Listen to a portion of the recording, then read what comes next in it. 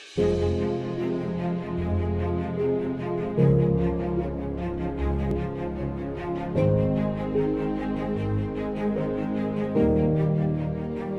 I'm Kishore completed my BEC in Jaya Engineering College last year and I have a huge passion to get into automation.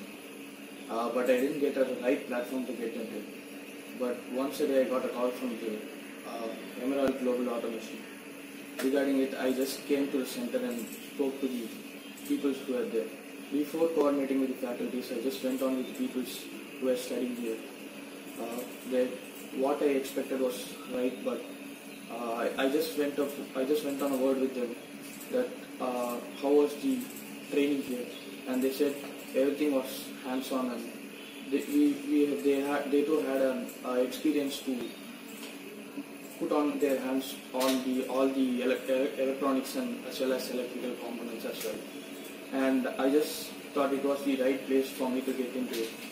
And once after joining my course, I, I, I just got, I, I came to know that even I can think here because faculties here made me to, has enhanced me to do so and the uh, training is all about, all the time it, it was full of hands-on and you can, you can get to know even something, uh, technology which is emerging out, even out of the syllabus as well. And here we have uh, even uh, placement training as well as you can even get some soft skills from the faculties here. We have a separate faculties for that. And the placement training is all about your technical, improving your technical skills as well as your soft skills. And uh, and then it was like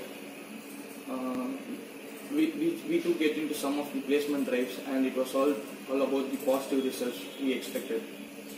And uh, I recommend for the people who are who have a huge interest on automation uh, to get into the part of Emerald Global Automation.